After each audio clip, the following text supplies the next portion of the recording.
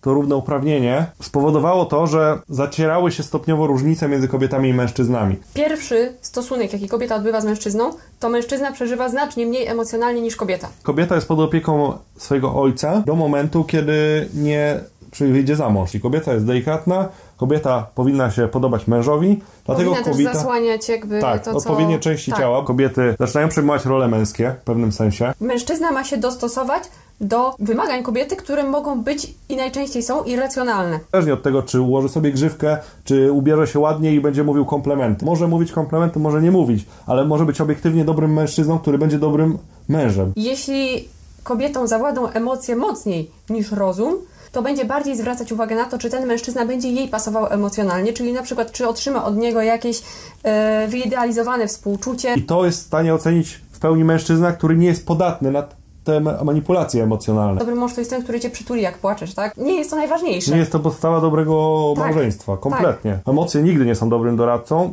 To jest też e, gigantyczne pole działania dla szatana, który bardzo często działa w ten sposób na kobiety, żeby one czuły się jak, jakoś e, niedowartościowane, właśnie na przykład fizycznie, że jest dobrze, jeśli czujesz się dobrze ze sobą, że jeśli się sobie podobasz, tak? Jest to bezsens, ponieważ kobieta nie musi podobać się sobie w żadnym celu. Zaczyna się w życiu przejmować tylko tym, jak ona jest brzydka, jak ona nigdy nie znajdzie sobie faceta, nie wiadomo co tam jeszcze, co mężczyźni wykorzystują. To jest przyczyna tej rozwiązłości, jaka jest dzisiaj, której nigdy w historii aż takiej nie było, chwalone jeszcze publicznie.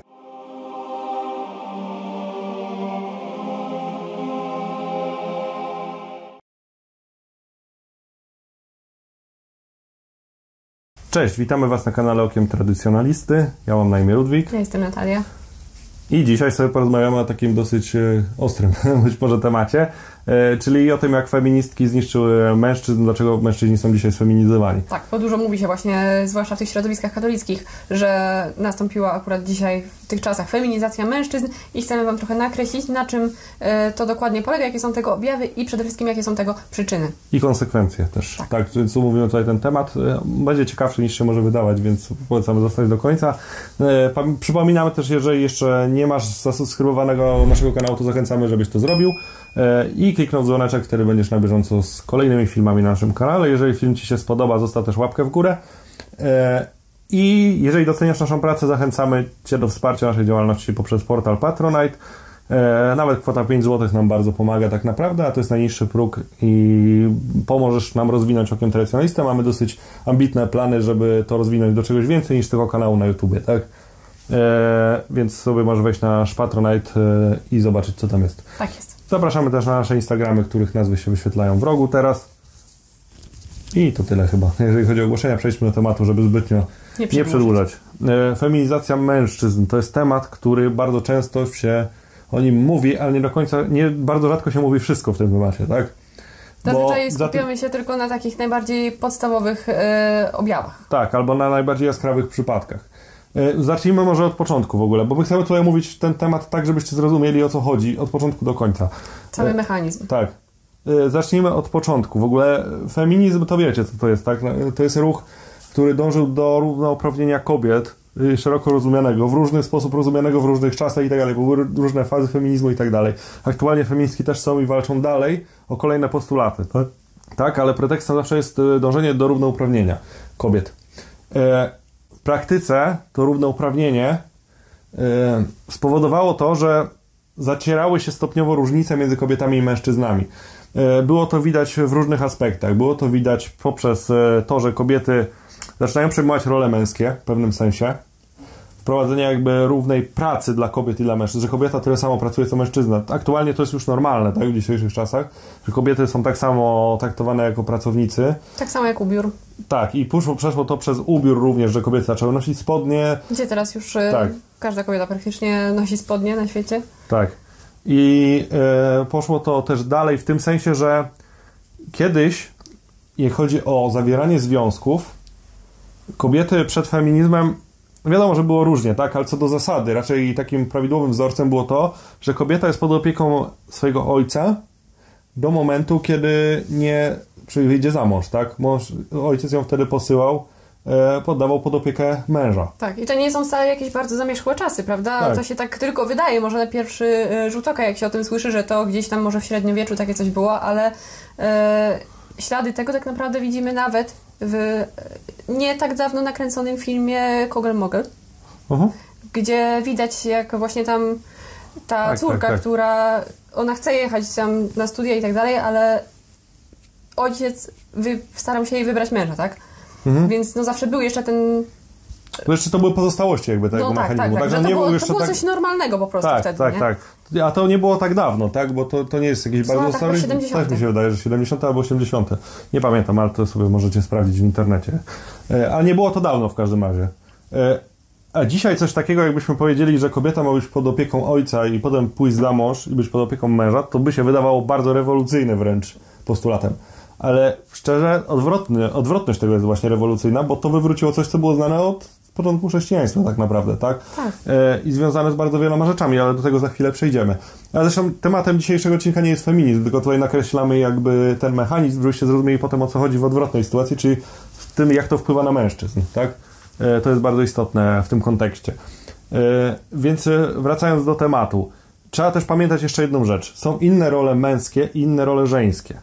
Rewolucja kulturowa próbuje te role zacierać, ale w inny sposób zaciera role męskie z żeńskimi, a inne, w inny sposób żeńskie z męskimi. Jeżeli chodzi o zacieranie ról żeńskich i jakby niszczenie takiej tradycyjnej kobiecości, polega to na tym, że próbuje się upodobnić kobietę do mężczyzny.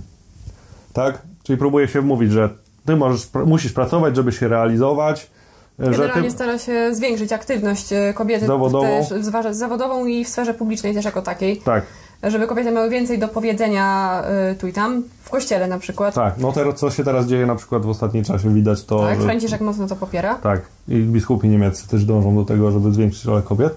Tak. E, widać to, że przenika to nawet do kościoła. E, ale do tego dochodzi też oczywiście zrównywanie strojów męskich i żeńskich. I jakby pójście w stronę tego, że kobieta staje się silniejsza, zaczyna, nie wiem, też w wojska być brana, Jakby tak? odchodzi się od tego jej podstawowego powołania, którym jest e, rodzenie i wychowywanie dzieci. Tak. I tego, że ona jest taką oso- jakby istotą z natury delikatniejszą. E, To stara się właśnie na siłę tak tak. utwardzić, żeby pokazać, że ona jest e, taka mocna, że ona nie jest jakaś e, delikatna, nie potrzebuje wsparcia, opieki i tak dalej. Tak, tak, tak, tak, propaganda filmowa, ale też propaganda taka powiedzmy medialna i jakby wzorce, które dzisiaj się promuje w pracach wszelkich e, na rynku, e, tak to próbują zmienić, tak, żeby kobieta szła w tym kierunku, czyli coraz większej męskości. Coraz mniej na przykład zajmowała się, nie wiem, wyglądem, ubiorem, e, coraz bardziej prze- przechodziła w taką bardziej praktyczność tego wszystkiego. Tak, i nawet e, właśnie w zakładach pracy to też już jest coś normalnego, bo wiele kobiet na przykład boi się e, poprosić o jakiś urlop dla swojej. Ze względu na to, że na, przy- na przykład ma dziecko chore w, domu, tak? Mhm. Jakieś To jest presja dodatkowa. Tak, Tak, tak, tak, właśnie tak. chodzi o to. No, y, presja jest po prostu w zakładach pracy na kobiety, dlatego że y, one siłą rzeczy są bardziej zobowiązane do tego, żeby działać więcej w domu, żeby opiekować się domem i dziećmi i jest ta presja właśnie wywierana na kobiety, żeby one bały się mieć te dzieci, tak? No tak, i to jakby do tego też dąży, że jak kobieta musi cały czas pracować tak samo jak mężczyzna, to z automatu będzie chciała mieć mniej dzieci, bo nie będzie miał się kto nimi zajmować, a nawet jak będzie miała te dzieci, to one pójdą albo do przedszkola, albo pod opiekę kogoś i ciężko jest te dzieci wtedy w duchu katolickim wychować, ale nie o tym dzisiaj mówimy, to tutaj jakaś po prostu sytuacja, tak? No to są przykłady, I, tak. I teraz tak, jeżeli jakby ta rewolucja kulturowa promuje e, jakby to, żeby kobiety udawały mężczyzn, to na mężczyzn ta rewolucja kulturowa działa inaczej, bo rola męska jest inna niż kobieca. Kobieta powinna ładnie wyglądać, kobieta powinna podobać się mężowi, ona powinna dbać o strój i o to wszystko, tak? Mężczyzna to posiada zupełnie inne role. Mężczyzna powinien pracować, po- potrafić obronić swoją żonę w razie czegoś, pójść na wojnę, jeżeli będzie wojna i tak dalej. Tego kobieta robić nie powinna. Dlatego też mężczyźni, i to jest jakby współgra z naturą mężczyzn, czego wiele kobiet często nie rozumie, bo nie ma skąd nawet rozumieć, tak? Czy może nawet nie miała do czynienia za bardzo z takimi mężczyznami niesfeminizowanymi. Natomiast natura mężczyzny jest taka, że mężczyzna raczej o wygląd nie dba z automatu, tak? Jemu wygląd nie, nie przeszkadza. Kobiety mają bardziej częściej kompleksy na podstawie wyglądu, co widać też u gwiazd, które się ciągle przerabiają. Tak. I to robią najczęściej kobiety, nie mężczyźni. Chociaż w dzisiejszych czasach to już jest to różnie, ale do, do tego za chwilę przejdziemy. Zresztą to jest jakby naturalne, że kobieta po prostu bardziej dba o estetykę, tak? Tak. No, no Mężczyznom tak, tak, to nie tak. jest do niczego potrzebne tak naprawdę.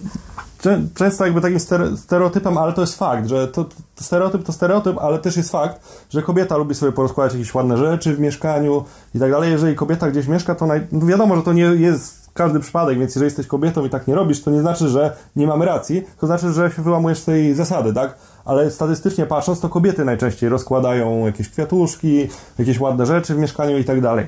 Mężczyźni lubią, jak wszystko jest praktyczne. Oni będą, nie wiem, mieli dobry komputer, żeby dobrze na nim się pracowało. Będą woleli, nie wiem, żeby ustawienie mebli było praktyczne i tak dalej. Tak, żeby to było łatwe do obsługi, a ta estetyka jest dla mężczyzn e, mniej istotna. Tak, a kobiety lubią mieć tak, żeby wszystko było ładnie poukładane, żeby było ładnie do zdjęcia, do Tak. narysowania, y, żeby to wyglądało tak jak właśnie na ładnym obrazku, co jest y, swoją drogą bardzo słuszne, bo jakby na tym właśnie polega ta wymienność, tak, w małżeństwie, że mężczyzna stara się dbać o to, co praktyczne, kobieta stara się dbać o to, co y, ładne, Ładne. i w pewnym sensie też zaspokaja tę potrzebę estetyki jakby męskiej, tak? Mimowolną nawet, No. tak? Bo wiadomo, że jak jest ładnie, no to nawet tobie jest y, lepiej, tak? Lepiej się czujesz, jak jest Tak, ładnie. tak, tak, tak, tak. Chociaż sam bym o to nie dbał, No tak, tak, tak. powiedzieć.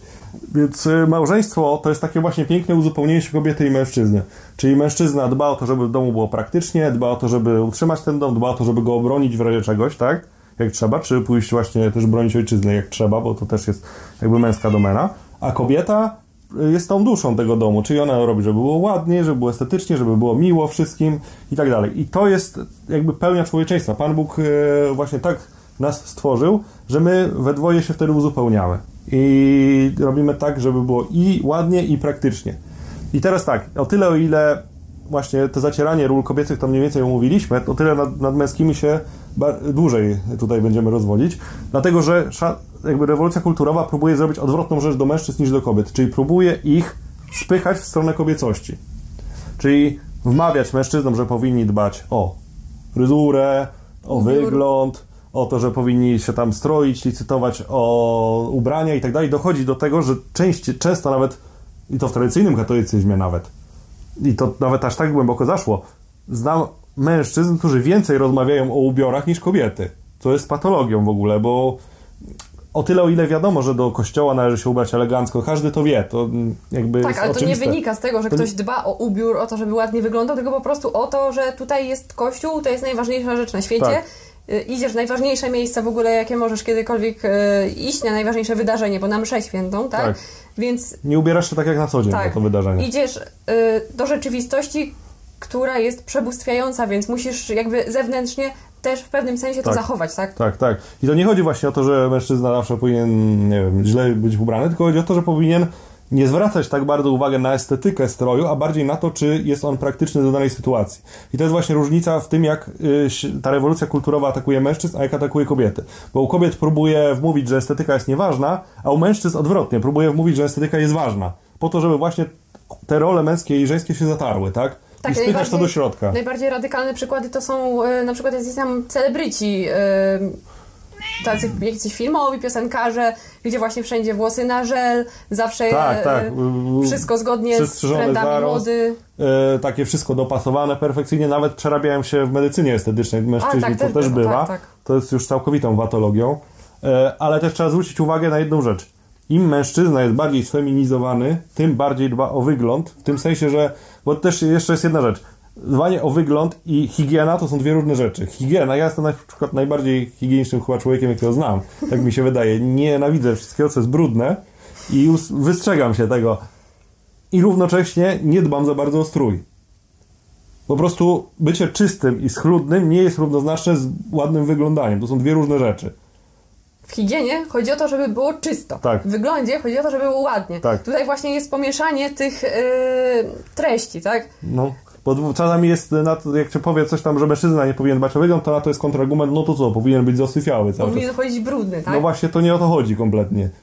Higiena jest mega istotna, ale to w ogóle nie jest ten temat. To jest zupełnie inna rzecz. I w każdym razie, im bardziej sfeminizowany jest mężczyzna, wracając do tematu, tym zazwyczaj bardziej dba o wygląd. Najbardziej wyglądem zajmują się homoseksualiści. oni najbardziej dbają o to, żeby tę emocjonalną ekspresję pokazać ubiorem. Tak. Co też y, często współgra z tym, że homoseksualiści mają najwięcej do czynienia z kobietami, tak na co dzień. No tak, bo często homoseksualizm to jest po prostu przejęcie żeńskich tak, cech tak, tak, mężczyzn. Tak. Dlatego tak? jak się właśnie chłopcy za dużo zadają z kobietami, to jest większe ryzyko, że w przyszłości będą y, przejawiać takie skłonności. Tak, pociąg do płci tak, samej. tak, no bo to jest jakby wynika z tego, że po prostu w, w wieku dojrzewania przyjmuje się pewne cechy. Jeżeli się przyjmuje za dużo cech kobiety, w przypadku mężczyzny na przykład ma się jeszcze dodatkowo zły kontakt z ojcem, no to wtedy tak może to się skończyć, ale to nie o tym film teraz, tak? Wracając do tych cech e, męskich. E, mężczyzna ma inne role niż kobieta, stąd wynika też różnica w, tym, w tych strojach, tak? E, jeżeli ktoś by zaatakował kobietę, to nie będzie miało znaczenia to, czy masz dobrze skrojony rękaw, bo będzie zależało to, czy twoje ubranie pozwoli ci zrobić to, co musisz, czyli ją obronić. Tak samo idąc, nie wiem, do pracy, yy, nie będziesz lepiej budował domu przez to, że masz, nie wiem, w spodnie w kancik wyprasowane, bo to nie wpływa kompletnie na to, a może jeszcze dodatkowo przeszkodzić w tej roli. Rola kobiety jest inna, dlatego to kobieta częściej dba właśnie o te estetyczne rzeczy w stroju, a mężczyzna o to, żeby one odpowiadały jego funkcji, tak? Więc y, oczywiście, jak ktoś jest prezydentem, no to wygląda właśnie, jak prezydent. To jest tak? bardzo to jest ważna kwestia. To jest, y, to jest właśnie bardzo ważna kwestia, żeby y, zaznaczyć, że y, garnitury, eleganckie jakieś ubiory męskie, one się nie wzięły stąd, że nagle mężczyźni wszyscy zaczęli y, dążyć do tego, żeby wyglądać super tylko garnitury to były atrybut jakby władzy, tak? Tak, no w pewnym momencie, jak już było odejście i pójście w stronę demokracji, tak? Tak, one nie, nie, nie niosły za sobą e, tego, żeby mężczyzna się podobał komukolwiek, tylko to miało zewnętrznie pokazać jakby jego miejsce w przestrzeni publicznej. Tak, no i jest ubrany bardziej elegancko, znaczy, że pełni wyższą funkcję, tak? Tak, dlatego właśnie na przykład y, ubiory te bardziej eleganckie, takie tradycyjnie eleganckie, czy jakieś mundury na przykład, to przysługuje osobom o wysokich funkcjach społecznych. Osobom związanym z władzą, osobom, które na przykład pełnią jakieś funkcje na uczelniach, profesorom.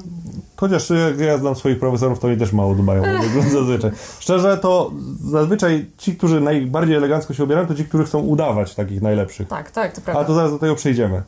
Yy, zazwyczaj jest... Jak ja, jak ja studiowałem historię na UKSW i miałem bardzo dobrych profesorów od historii, nawet najlepszych w Polsce w wielu dziedzinach od XIX wieku na przykład. To byli ludzie, którzy kompletnie nie dbali o wygląd, ale oni mieli największą wiedzę z osób, jakie znałem. I to jest właśnie jakby uosobienie tego powiedzenia, że nie szata zdobi człowieka. Yy, I to, to, tak jak mówię, należy to oddzielać od higieny cały czas, tak?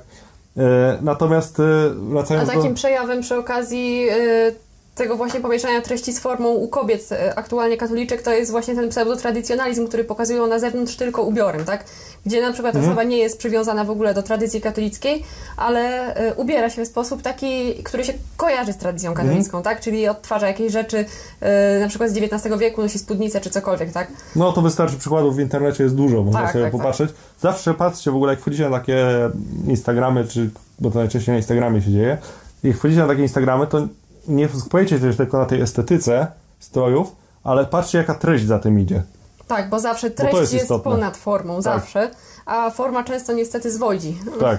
Tak, no i często dużo osób właśnie na formie się skupia, nawet mężczyzn, i to jest właśnie kolejny przykład feminizacji mężczyzn, że oni czasem nie są w stanie racjonalnie odróżnić tego, że dana treść jest zła, bo zachowuje odpowiednią formę, wizualną taką, z pozoru formę, tak? I pamiętajmy też, że w katolicyzmie, katolicyzm to nie jest rekonstrukcja, tylko to jest wyrażanie treści poprzez formę. Treść jest ważniejsza zawsze od formy, ale forma jest wyrazem treści, tak? I pamiętajmy, że treść, e, jakby forma strojów wyraża treść o kobiecości. Kobieca jest delikatna, kobieta powinna się podobać mężowi, dlatego powinna kobieta... też zasłaniać jakby tak, to, co... odpowiednie części tak. ciała, bo kobiet, mężczyźni jakby z natury swojej są bardziej podatni na te grzechy e, porządliwości, więc e, kobiety dbając o mężczyzn właśnie powinny zasłaniać odpowiednie części, a kobiety w przypadku, w stosunku do mężczyzn już aż tak dużych pokus nie mają. Oczywiście zdarzają się, wiadomo, tak? Tak, to jest e, w ogóle też bardzo ważna prawda, chyba nawet psychologicznie, psychologicznie jakby potwierdzona, że yy, pierwszy stosunek, jaki kobieta odbywa z mężczyzną, to mężczyzna przeżywa znacznie mniej emocjonalnie niż kobieta. Mhm, Bo kobieta tak, tak, w tak, ogóle tak, tak, w związku, kobieta jest otwarta bardziej emocjonalnie znacznie niż mężczyzna. Mhm. Tak, i jakby tutaj dlatego właśnie e, kobiece stroje są. I to też nie chodzi o rekonstrukcję strojów z przeszłości. Chodzi o to, że kobiece stroje wyrażają tę treść, którą Kościół nauczy, że kobieta powinna się odsłaniać, powinna nosić spódnicę i powinna nie odsłaniać odpowiednich części, ale powinna też się podobać mężowi. Stąd wynika jakby ta specyfika strojów katolickich kobiet. A u mężczyzny w tradycyjnej nauce, i to też wygłaszał, zdaje się, ten brat y, Franciszkanin na pielgrzymce jaką konferencję na temat strojów męskich, u mężczyzn kwestia strojów wygląda inaczej. U mężczyzn treść jakby ich powołania jest tym, że oni muszą pracować, obronić swoją kobietę, podrobić wiele rzeczy praktycznie yy, i pójść również, yy, to co mówiłem wcześniej, na wojnę, jeżeli trzeba. I u mężczyzn te stroje powinny być wypełnieniem tej treści, czyli tym, żeby ten strój był praktyczny do zadania, które on wykonuje. Jeżeli jest prezydentem, to chodzi w garniturze. Jeżeli jest robotnikiem na budowie, no to nie chodzi w garniturze, bo to wtedy będziemy mieli pomieszanie wszystkiego ze wszystkim, tak? tak? Więc jak czasami tam piszecie, że nasze stroje są niekompatybilne, bo jakby tam, nie wiem, emocjonalnie tak ktoś twierdził, tak? Czyli optycznie, no to powiem inaczej. Co do treści, one są stuprocentowo kompatybilne, bo ja nie jestem prezydentem, dlatego na co dzień w garniturze nie chodzę, a chodzę tak jak chodzę, a jak chodzę do kościoła, no to chodzę inaczej, tak? Wiadomo, no tak. bo do kościoła nie chodzę tak jak na co dzień, bo kościół to jest wyjątkowe wydarzenie. Dokładnie. Więc to wiadomo. Więc, więc co do treści my zachowujemy te zasady. Tak, dokładnie. I to, to jest, właśnie zachowywanie co tak. do treści, a nie co do tego, żeby to wyglądało jak z obrazka z lat 60. To, co mówiliśmy już w innym filmie o tradycyjnych rolach w rodzinie, że katolicyzm to nie jest odtwarzanie obrazków z przeszłości, tylko to jest wykonywanie treści na dane czasy, w których się żyje. I wiem, dużo osób też pisało argument, że no, kiedyś chłopi w polu pracowali w koszuli. No tak, bo kiedyś taka była moda. Się kiedyś nie było t-shirtów, tak. koszulek, jakieś tam polo. Po prostu kiedyś każdy chodził w koszuli, bo tylko koszule chyba były, no, tak, no, albo tak, może tak, coś tam tak. jeszcze, ale koszule były najpopularniejsze, tak? Tak.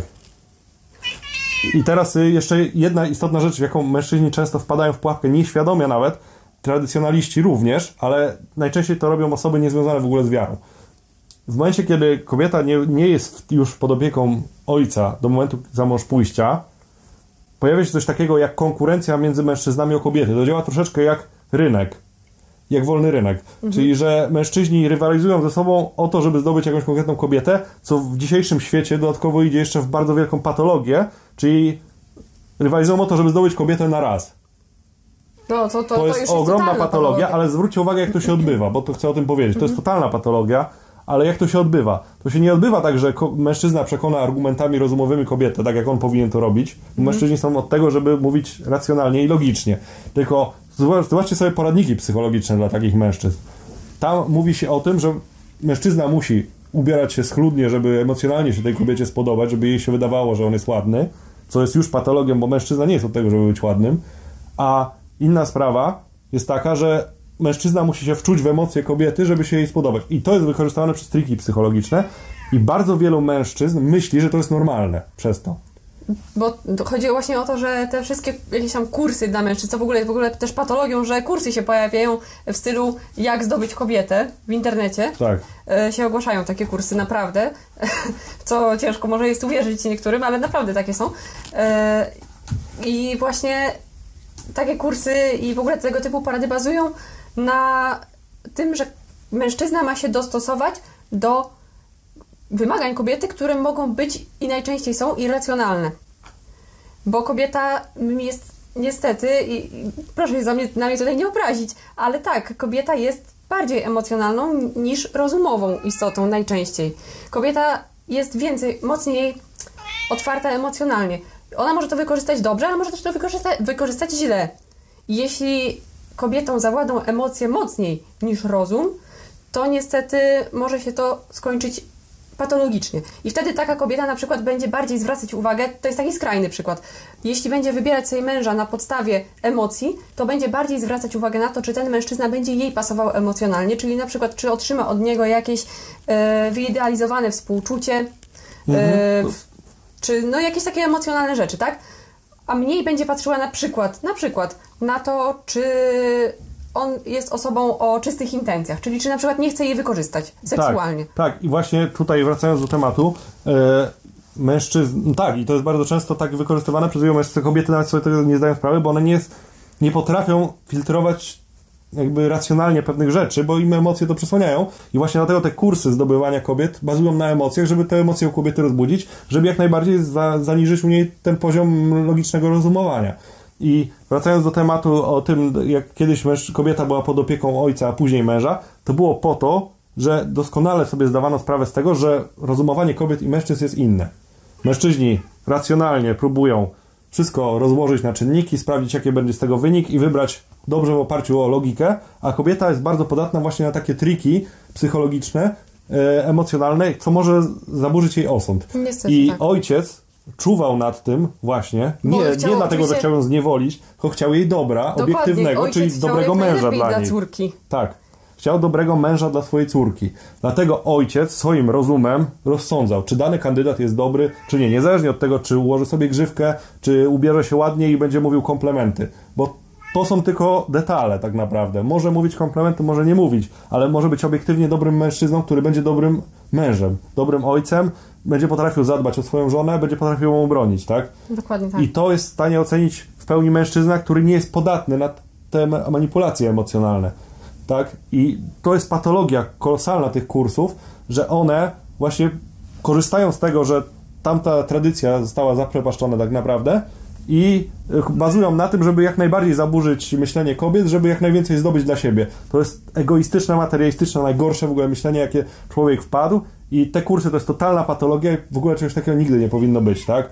Jest, I kolejna sprawa jest taka, że nawet pomijając już te kursy i kwestie tego wszystkiego, jeżeli mamy taki wolny rynek w kwestii wyboru kobiety, tak jak to teraz jest, w sensie, że kobiety decydują na, tak samo jak mężczyźni i jakby nikt nad tym nie czuwa, nad kobietą, nie, nie opiekuje się nią już ojciec, dochodzi do tego, że mężczyzna, żeby zdobyć tę kobietę, musi przejmować siłą rzeczy kobiece cechy lub kobiecy sposób myślenia, po to właśnie, żeby te emocje u niej rozbudzić, bo ona w oparciu o te emocje będzie decydować. I to jest patologia i bardzo wielu mężczyzn w kręgach nawet tradycyjnych, bo to funkcjonuje również w tradycjonalizmie, bo nie ma tej tradycyjnej zasady, a kobieta jest kobietą, natury się nie wyprze. Nawet jak jest e, tradycyjną katoliczką, to nadal jest podatna na emocje. Więc bardzo często nawet mężczyźni w tradycjonalizmie, tradycyjnym katolicyzmie, e, próbują się dostosować właśnie do tego stanu rzeczy. I to jest bardzo złe, dlatego, dlatego że e, no, siłą rzeczy, jak się próbuje żeby dostosować do kobiecego myślenia, to zabieramy sobie męskie myślenie. I długo żyjąc w ten sposób, tracimy męskie cechy, więc to jest dalej jakby po- posuwanie tej rewolucji kulturowej, nawet w tradycyjnym katolicyzmie. U zwykłych osób, które nie chodzą do kościoła, to jest dużo dalej posunięte, bo oni nawet nie, nie myślą o tym, że są jakieś męskie i żeńskie cechy, że jest jakakolwiek rewolucja kulturowa.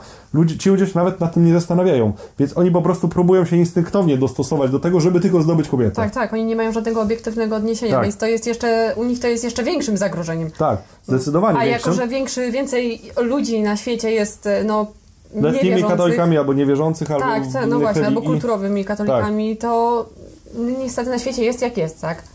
No i to będzie coraz większa patologia, dlatego do tradycjonalistów jest taki apel, nie dostosowujmy się do tych standardów feministycznych, bo to jest katastrofa.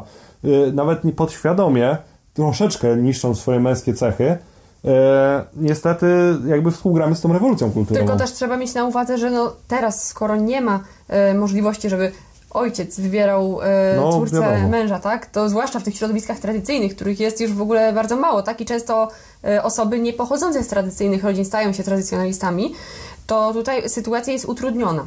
Dlatego, że e, no, mężczyzna może zdobyć w jakiś sposób kobietę, tak? Ale to jest teraz e, ciężkie w tych środowiskach tradycyjnych. I myślę, że warto Myślę, by że było bardzo zrobić... wielu z Was też ma taki problem, że nie może tego zrobić E, Myślę, że tak? powinniśmy co e, teraz właśnie zapowiadamy z mojej, z mojej inicjatywy, że zrobimy taki poradnik jakby dla osób e, przed e, które rozeznały powołanie do małżeństwa przed e, ślubem, tak, jeszcze na co powinny zwracać uwagę, jeśli chcą stworzyć stałą, trwałą i zdrową Tak, relację tak, tak, tak, damsko-męską. Dla kobiet i dla mężczyzn. Tak.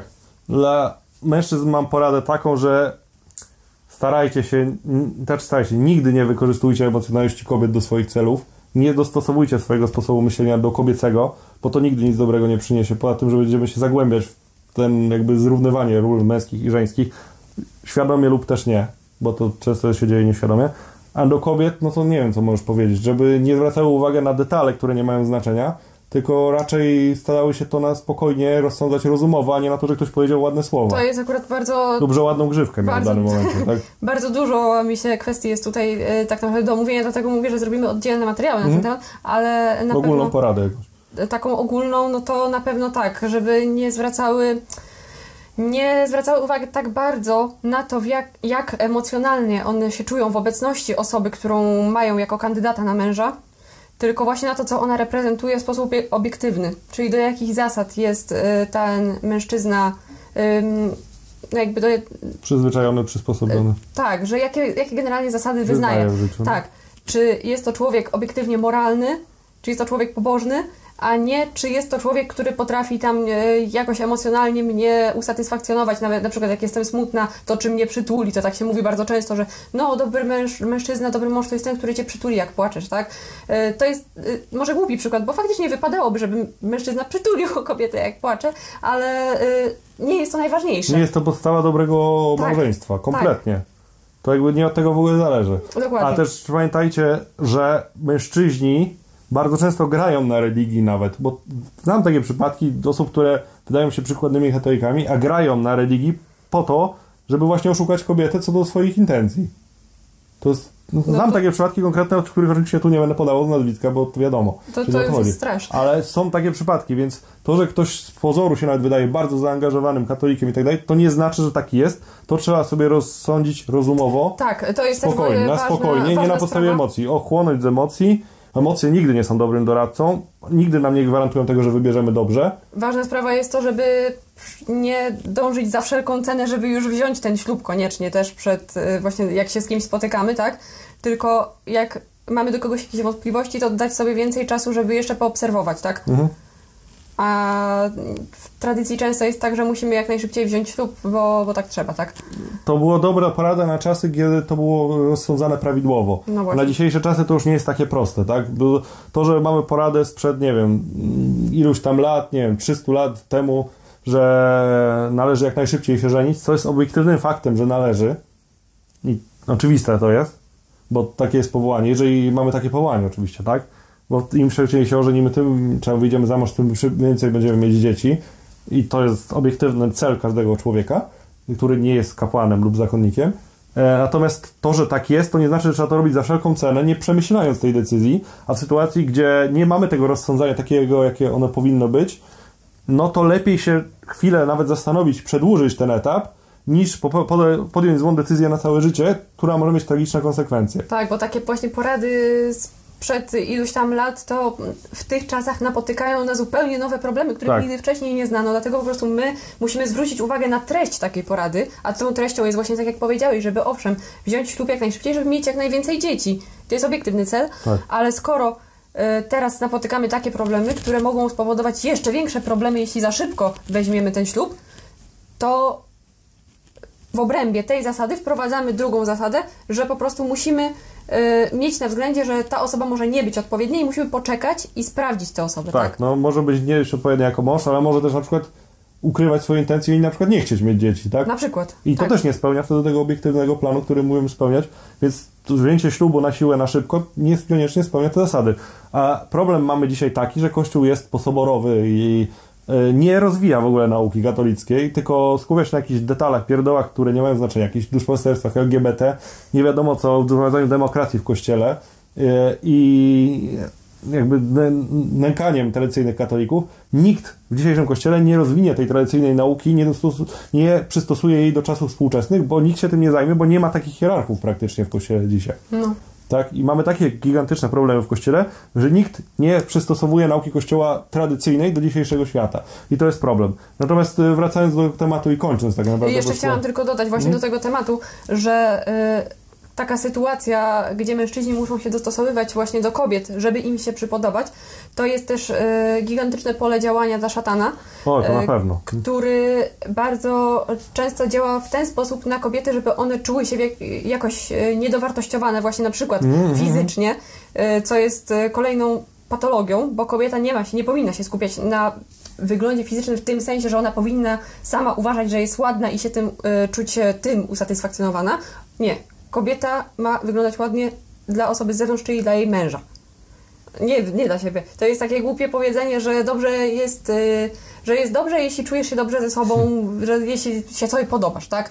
Jest to bezsens, ponieważ kobieta nie musi podobać się sobie w żadnym celu.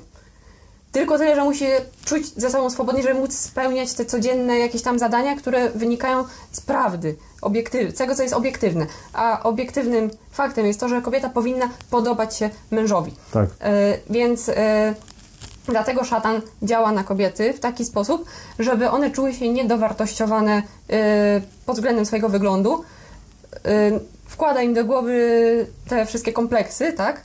Żeby jeszcze bardziej to było jakby roz, Rozdmuchane. rozdmuchane, tak, w jej głowie, jakie to jest straszne, że ona zaczyna się w życiu przejmować tylko tym, jak ona jest brzydka, jak ona nigdy nie znajdzie sobie faceta, nie wiadomo co tam jeszcze i w ten sposób ona jest łatwiejsza do zdobycia dla mężczyzny.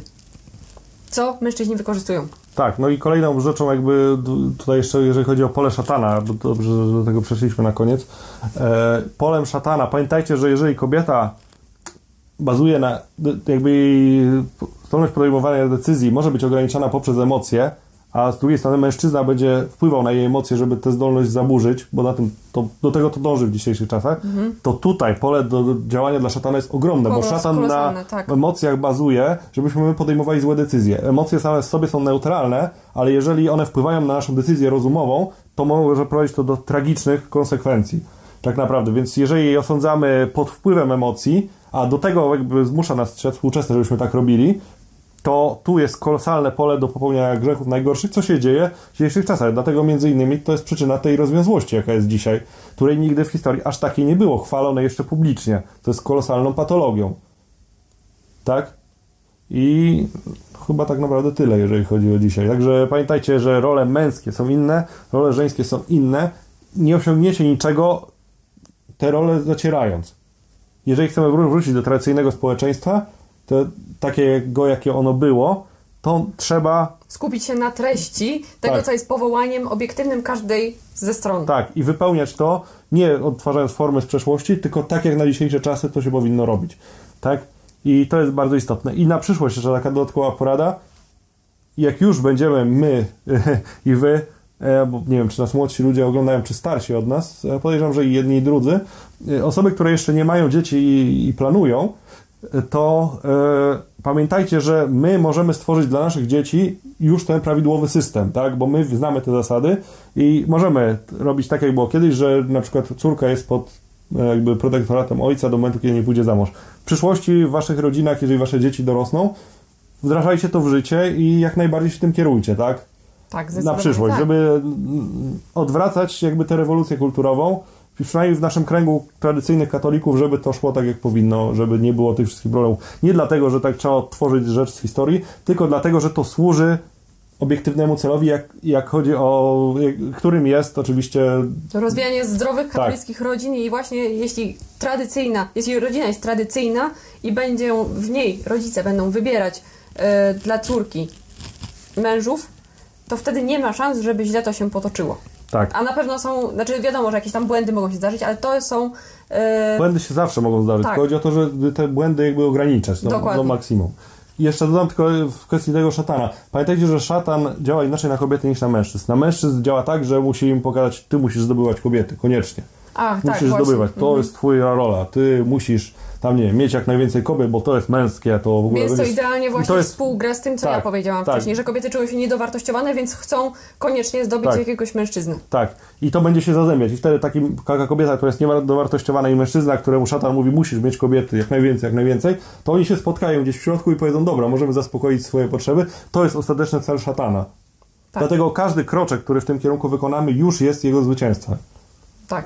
Jeżeli przyjmiemy w jakimkolwiek sposób kobieta cechy męskie, a mężczyzna cechy żeńskie, choćby w jednym stopniu, to się zbliżamy właśnie kroczek w tym kierunku. Oczywiście daleko jest do tego w przypadku katolika, natomiast yy, wykonanie każdego kroku w stronę zła jest złe. Zdecydowanie tak. Należy działać tak, jak Pan Bóg nas powołał, czyli wyraźnie oddzielić role męskie od żeńskich w treści, w każdej sytuacji w życiu, tak jak to omawialiśmy. Tak, żeby mogły się uzupełniać, tak jak właśnie powinny się uzupełniać, a nie przenikać. Tak. No i zacierać różnice. Tak. I jeszcze raz y, przypominamy, że na pewno nagramy jakieś poradniki dla takich osób młodszych, które chcą stworzyć zdrową katolicką rodzinę, czym powinny się kierować, Tak. na co mają zwracać uwagę, czego nie robić w związkach, y, a co robić w związkach zanim y, zawrą ślub, Sakrament małżeństwa. sakrament małżeństwa. No i chyba tyle. Tak. Tak. I jeżeli obejrzycie ten film do końca, napiszcie w komentarzu nie popieram feminizacji mężczyzn. E, dziękujemy Wam za uwagę. Mam nadzieję, że w miarę jasno się wyraziliśmy i że Wam się podobała ta pogadanka. Myślę, że troszeczkę dłuższa niż e, poprzednia, ale mam nadzieję, że owocna. Do następnego odcinka. Czołem. Cześć.